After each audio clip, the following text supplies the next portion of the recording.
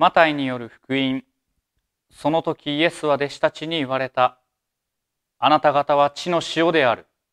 だが塩に塩気がなくなれば、その塩は何によって塩味がつけられよう。もはや何の役にも立たず、外に投げ捨てられ、人々に踏みつけられるだけである。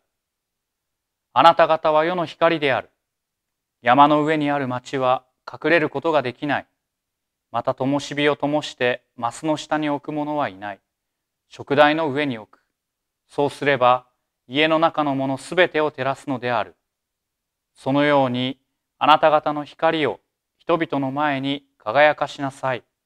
人々があなた方の立派な行いを見て、あなた方の天の父を崇めるようになるためである。